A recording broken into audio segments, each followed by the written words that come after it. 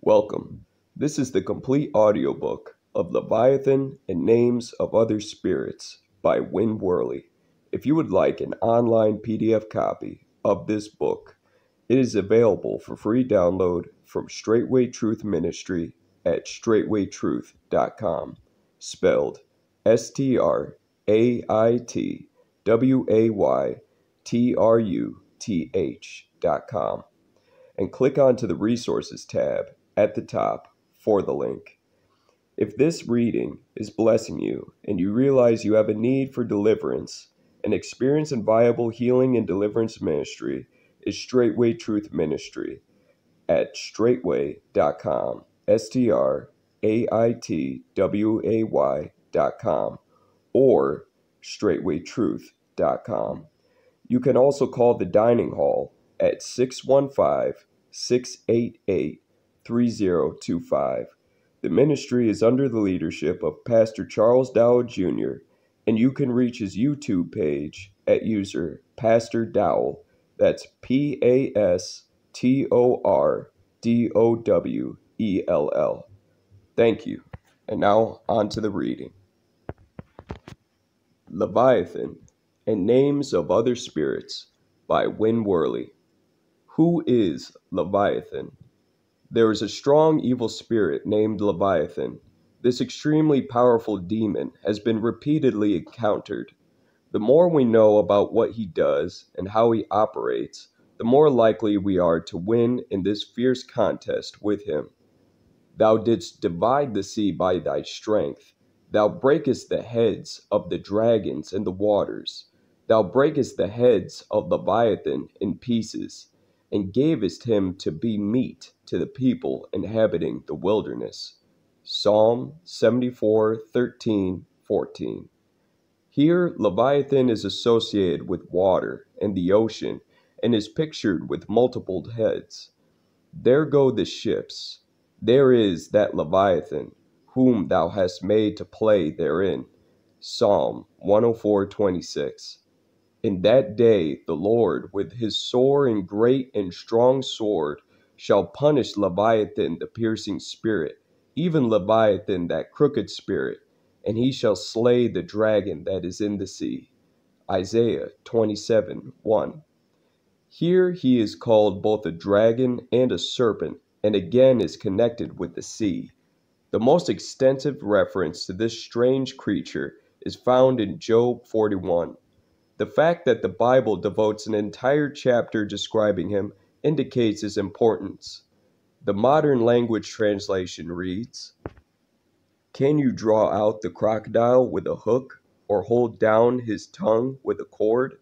Can you put a fish line through his gills or pierce his jaws with a spur? Will he make repeated requests of you? Will he use friendly words in addressing you? Will he make a bargain with you, lest you should take him as your servant for life? Would you play with him as the birds, or keep him as a plaything for your girls? Will fishermen bargain over him, apportioning him among the merchants? Can you fill his skin with barbed darts, or his head with harpoons? Lay your hand upon him, then remember the conflict. You will not do it a second time. The man who hopes to master him will be disillusioned. At the sight of him, a man is paralyzed.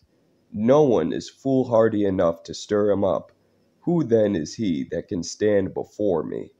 And whom have I borrowed that I should have to repay him? Everything under the whole heaven is mine, and I will not be silent concerning his limbs, his strength, his artistic proportions. Who has ever stripped off his thick coat of mail? Or pierced his impenetrable scales? Who can open the doors of his mouth? Around his teeth there is terror. His back is shingled with scales, closely fitted together with a tight seal. So near are his scales to one another that no air can get between them. They clasp one another, joining so closely they cannot be separated. His sneezing sparkle light. His eyes are like rays of morning. Out of his jaws come burning torches, and sparks of fire shoot out.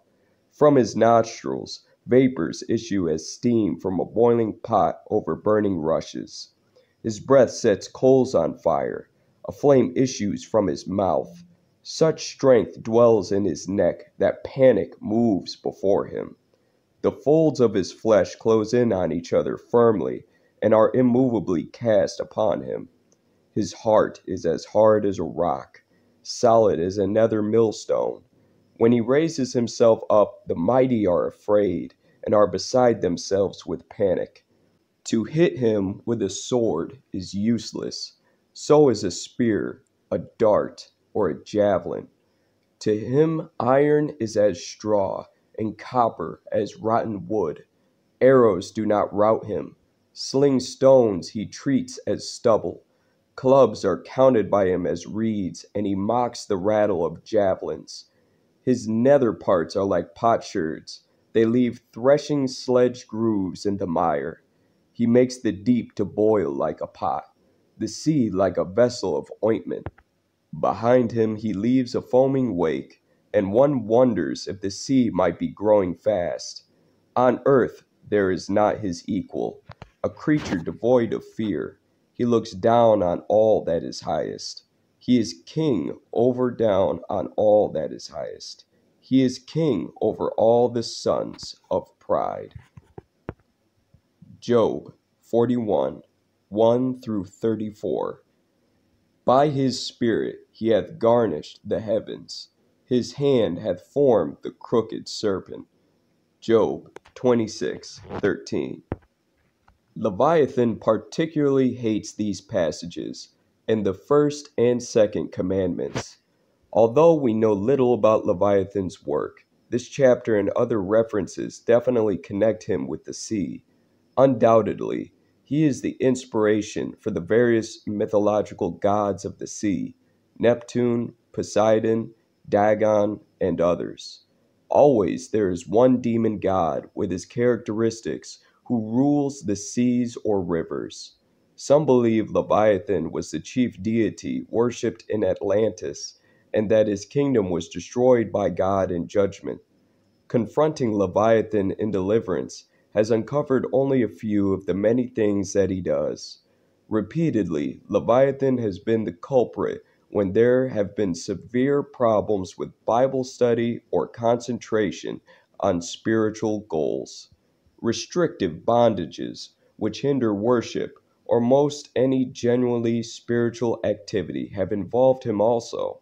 I refer to a real flowing with the Holy Spirit, not the shallow religious externals which often pass for spirituality today. Another area where he works is learning difficulties for youngsters, including reading.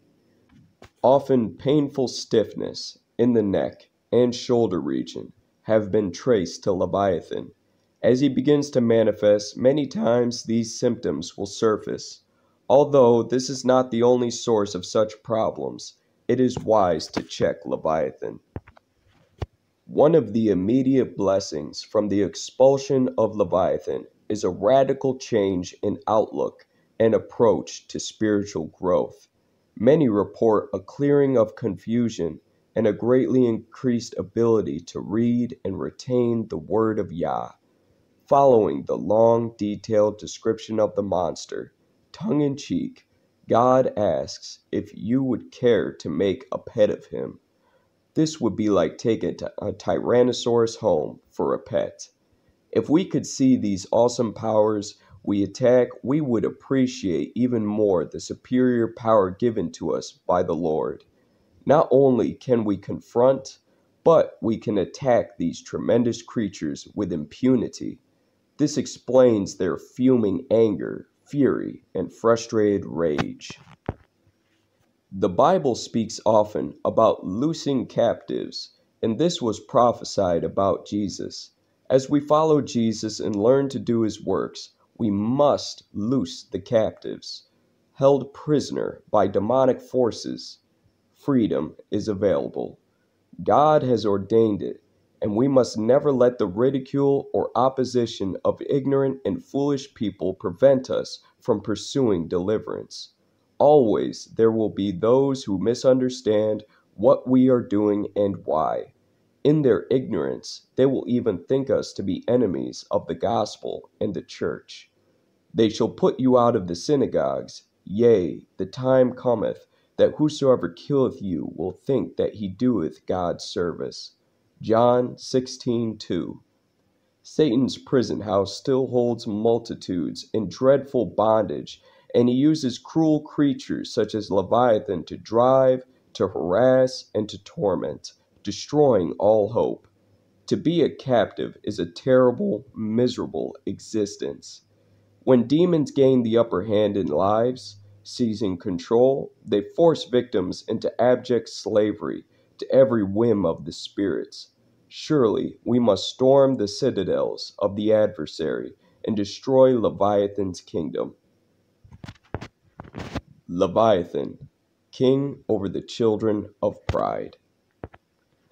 As mentioned earlier, Job 41 is the key passage about Leviathan. Most of those who have this powerful spirit never get delivered, for one of his chief jobs is to block deliverance. Ministers refusing to open up to the ministry of deliverance are controlled by a Leviathan spirit who is their chief problem. Most who fight the deliverance ministry have powerful Leviathan spirits and are rarely delivered. Strong's Concordance, number 3882, number 3867, defines Leviathan as a wreathed animal or a serpent. He is also called the constellation of the dragon or Orion. Within, within the constellation Orion, there are seven stars, each with a name. These names have been found helpful in dislodging Leviathan in deliverance.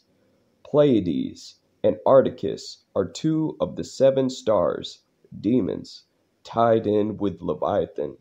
Often, when you manage to force them out, Leviathan also suffers defeat. Another word for Leviathan means to twine, to unite, and to remain. Again, we are reminded of his serpentine nature and that he is a strong man. A word which occurs six times in the Old Testament comes from a root word which means to bend or twist. It means literally wreathed, like a wreath, to be wreathed, gathering itself in folds. The context suggests some form of aquatic monster which dwells in the sea. In the scriptures, the sea represents nations of people. The sea is the voice of many waters, or many peoples, in the book of Revelation. Thou breakest the heads of Leviathan in pieces, and gavest him to be meat to the people inhabiting the wilderness. Psalm 74 14. This is a reference to Pharaoh and the Exodus, which parallels with another Hebrew word, Tannin, which means a sea or river monster. The word occurs again in Ezekiel 29 3 through 5, symbolizing Pharaoh and the Egyptians. Oftentimes, there is an Egyptian spirit tied in with Leviathan, a spirit of the world and worldliness. In Job, reference is made to a dragon. According to ancient mythology, a dragon was supposed to cause eclipses by wrapping himself around the sun. Leviathan was considered to be a great mythical monster and was identified with the Babylonian mother goddess Tiamat. The father of Tiamat was Apsu, in the Babylonian creation story. This monster fought with Marduk by reciting charms and casting witchcraft spells. In the Word, there is a seven headed monster which takes us back to the constellation Orion and its seven stars. The seven heads are the seven stars, and the creature is described as a fleeing serpent, the torturous serpents smitten by Baal. There is a dragon in the sea, people or nations, and God is going to slay him. Isaiah 27 1. The noun translated Leviathan may also designate serpents, such as might be roused by snake charming magicians. These men were also reputed to be able to impose curses, therefore, snake charming curses are involved here. There is another root word, lawa, in the Hebrew, Strong's number 1087, used once in Ecclesiastes 8:15. It refers to the joining of an item or a person to someone or something else. Significantly, we believe that in the Bible this refers to foreigners who join God's people as converts, the joining of an alien thing to God's people. Then I commended mirth, because a man hath no better thing under the sun than to eat and to drink and to be merry, for that shall abide with him of his labors the days of his life, which God giveth him under the sun. Ecclesiastes 8:15. In general, I think this refers to the way which hedonistic pleasures stay with a man. These pleasures will cling to a man. Again, the reference is to clinging, writhing, and twisting. They get caught up with a man internally. Job 41 says, Canst thou draw out Leviathan with a hook, or his tongue with a cord which thou lettest down? In a Dallas congregation, there was a man from a hard background a career Army officer in Vietnam. When he came home, his brains were scrambled. Officials of the Army had judged him to be a 100% disabled schizophrenic. He appeared on the preacher's doorstep one day after hearing his radio program. Six months ago began a battle such as had never been seen by these workers before. Being a disabled veteran, he is required to report every month to a psychiatrist to maintain his disability. After deliverance, he came to the preacher and said he was so much better that he was no longer schizophrenic. His question was, What am I going to tell them when I go back for my interview? The pastor asked what they wanted to find out. He said they just wanted to know whether or not he was still crazy. He was advised him to tell him that what happened to him in deliverance. It worked. After that report, they were absolutely convinced that he was insane. In his Bible studies, he came to believe that Behemoth, Job 40, might be lodged in the will of a man. That big, sluggish animal is strong, brassy, and very hard to budge. Leviathan represents or burrows into the self of a man. The whole context of the book of Job is an ongoing debate between Job and his friends. Finally, God announces that he has had enough and demands an answer. Where wast thou when I laid the foundations of the earth? Declare, if thou hast understanding. Canst thou bind the sweet influences of Pleiades or loose the bands of Orion? Job 38 4. 31. Here, at the culmination of an entire revelation, God gives this righteous man of God an entire discourse about Leviathan. Some call him a crocodile, but he is an evil spirit. Although we do not have complete understanding, we can utilize what we do comprehend. When we get down to that real, true self, we are in Leviathan's stronghold, deep inside. Even after ousting him, self will remains. The king may say that this is as far as he is willing to go. If you heed him, he will go no farther. Job 48 Job 41 8 Job 41 8 warns that when we attack Leviathan, we will remember the struggle and will not want to repeat it. This reminds us of our old self who wants things to remain hidden.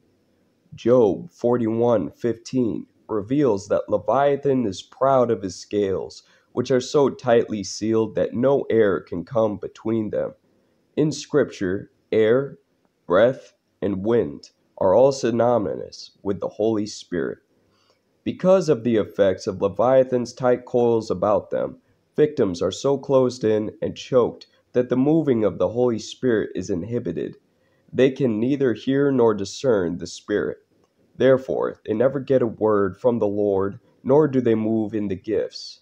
The reason is that no air of the Spirit is able to get in because of this demonic stranglehold. Scales are said to be joined together and cannot be sundered.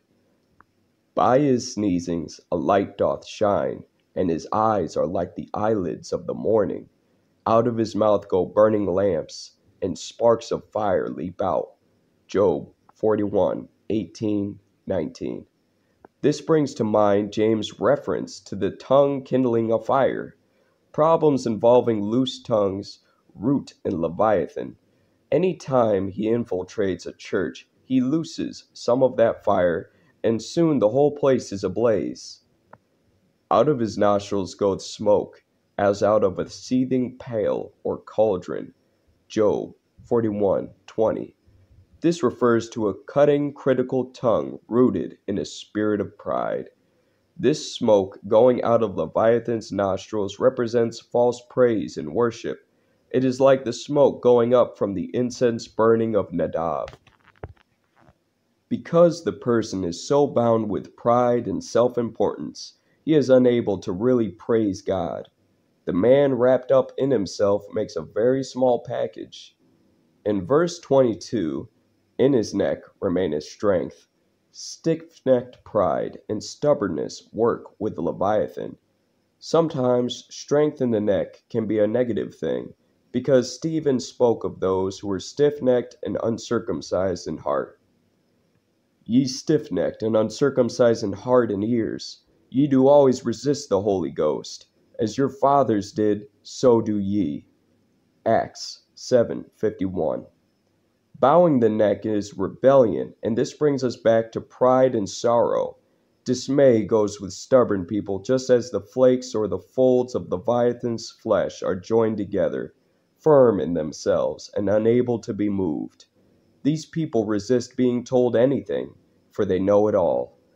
Haughtily, they declare, God showed me that a Christian can't have a demon. You're in deception, brother, etc. His heart or chest is said to be as firm as a stone, as hard as a piece of millstone. Verse 24. Hard and cold heartedness are both tied to Leviathan. His heart is as firm as a stone, yea, as hard as a piece of the nether millstone. When he raiseth up himself, the mighty are afraid. By reason of breakings they purify themselves. Job 41 24 25. In verse 31, he makes the deep to boil like a pot. Deep calleth unto deep at the noise of thy waterspouts. All thy waves and thy billows are gone over me. Psalm 42 7. The deep is where the real you is located. There is a deep in us, and we are very careful about who we allow to come in there. God can get in there. Deep calls unto deep.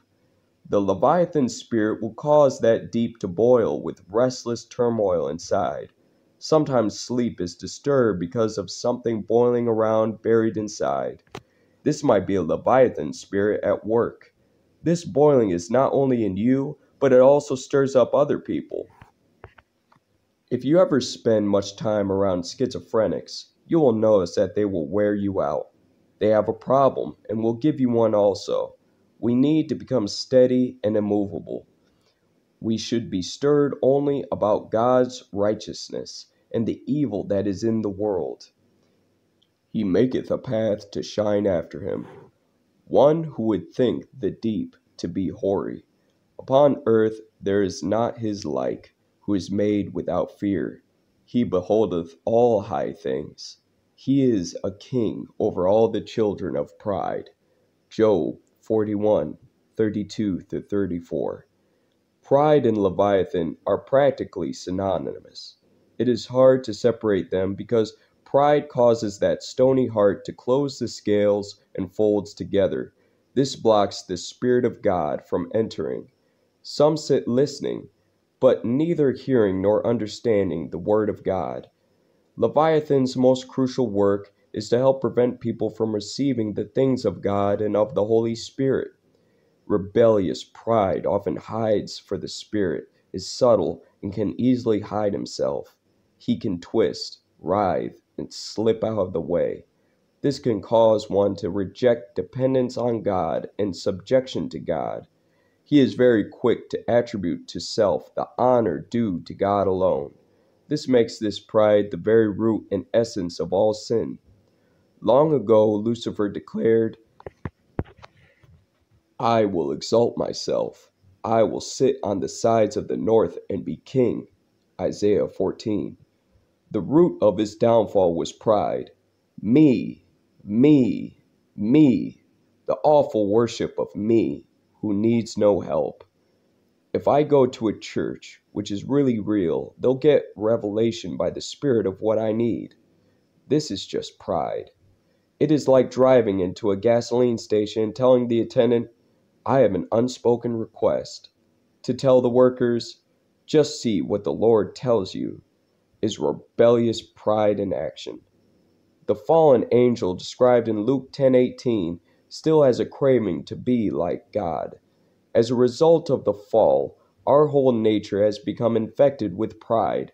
The temptation to know good and evil by eating the forbidden fruit was motivated by pride in Adam and Eve. The tree of life was also there, and they were not forbidden to eat from it. Pride drove them to the tree of the knowledge of good and evil. Because we are descendants of Adam, we are easily affected by pride. This is why Leviathan is so strong, powerful, and deeply rooted in us.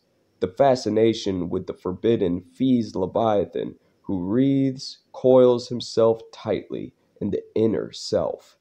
Even after deliverance from Leviathan, there is yet another dimension. Self must be crucified in many areas. For example, people may wish to be delivered from cigarettes, but they also have a part to play. For example, in a deliverance church, a pouting member recently refused to attend church. He had received prayer for deliverance from nicotine, tobacco, etc. He fully expected to get up the next morning with all desire for cigarette completely wiped out. Although this sometimes happens, many times when you get up the next morning, you may have a regular nicotine fit. It does not mean the evil spirit is still there. That is the old selfish man was that is still down there. The only thing to deal with it is to give orders that it be nailed on the cross. Crosses are instruments of death. It is hard to know where we cross the line from the spirit of pride to just the old self inside who resists humbling himself in submission to God. Submit yourselves therefore to God. Resist the devil, and he will flee from you. James 4 7.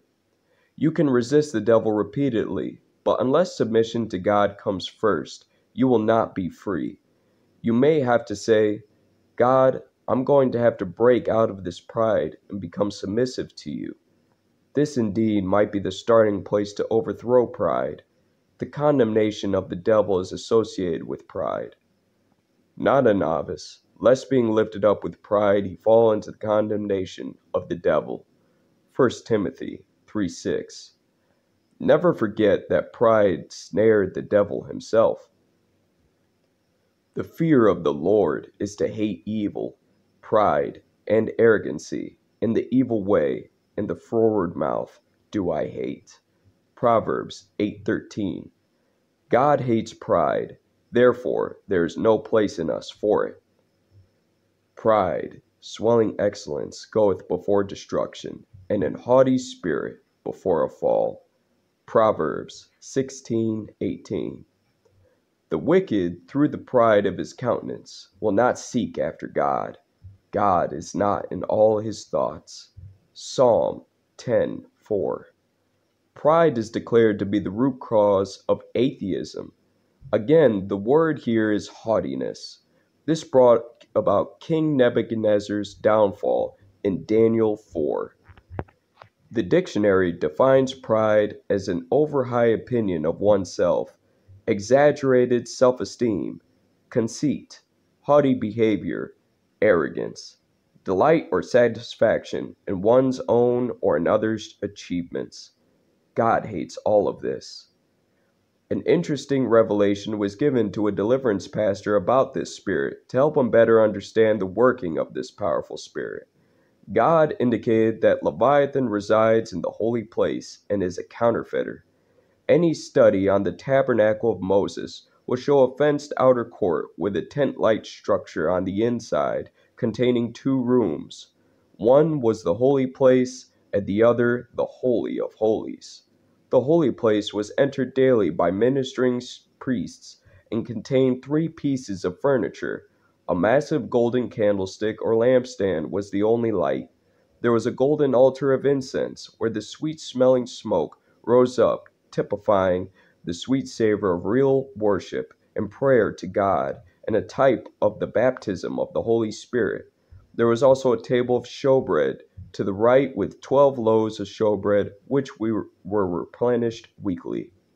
Before one entered through the second veil into the holy place, he had already been to the brazen altar, salvation, and the laver of cleansing. 1 John 1 9. Not by works of righteousness which we have done, but according to his mercy he saved us, by the washing of regeneration and renewing of the Holy Ghost. Titus 3 5. The second veil is the place of revelation and illumination by the Spirit of God symbolized by the oil burning in the lamps. Nourishment is from Jesus, the bread of life, on the showbread of table. This is where Leviathan headquarters. Nourishment is from Jesus, the bread of life, on the showbread table. This is where Leviathan headquarters. He is more interested in spirit filled people, for they are so thrilled with the part of the truth they have until we have learned humility, God cannot trust us with too much lest it corrupt us. We are three part beings. We are a soul, we have a spirit, and we live in a body. This is a type of the holy place where, where Leviathan works. He is at work in our soul, mind, will, and emotions. Leviathan attempts to block our entrance into the Holy of Holies, into the very presence of God.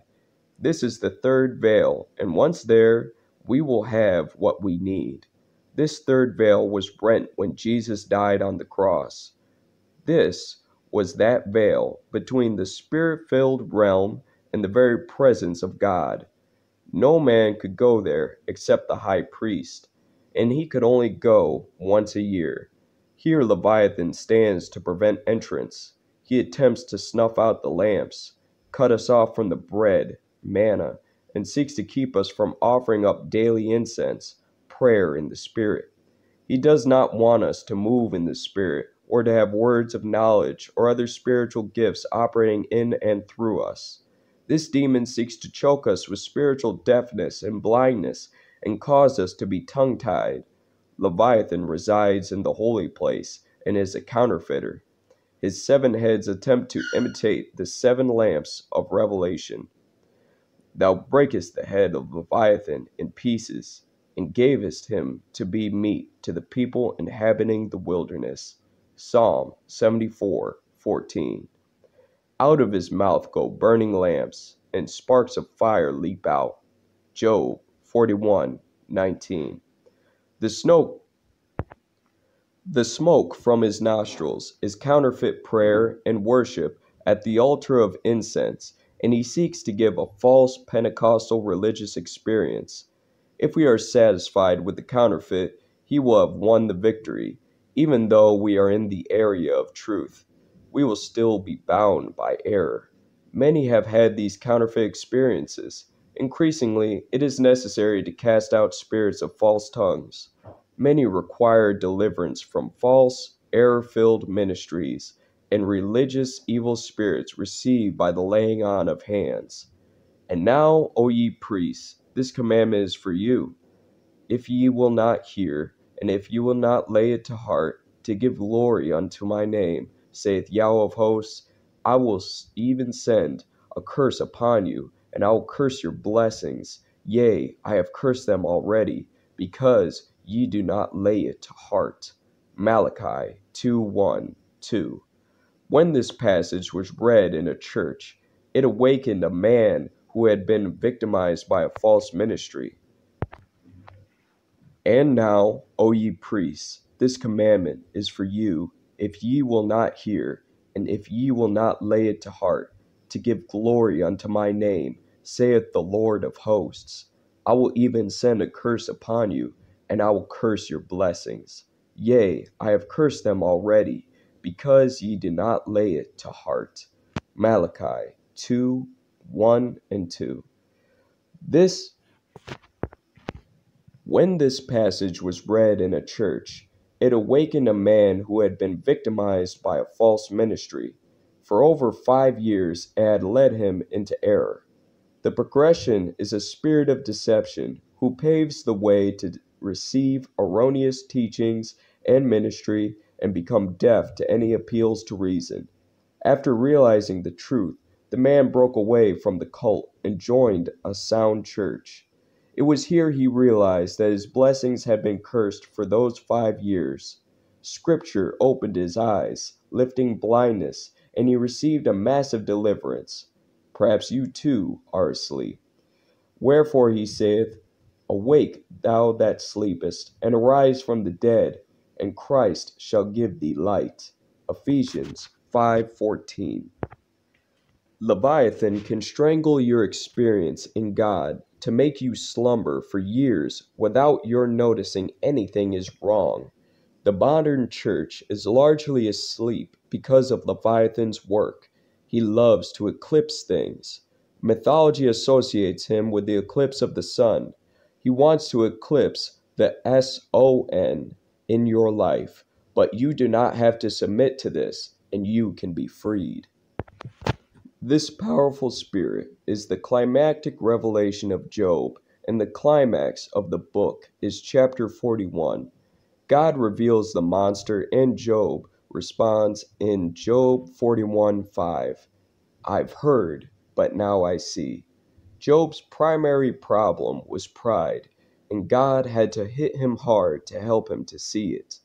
There is an end time scene which deals with Leviathan. In that day, the Lord, with his sore and great and strong sword, shall punish Leviathan, the piercing serpent, even Leviathan, that crooked serpent and he shall slay the dragon that is in the sea. Isaiah 27 1.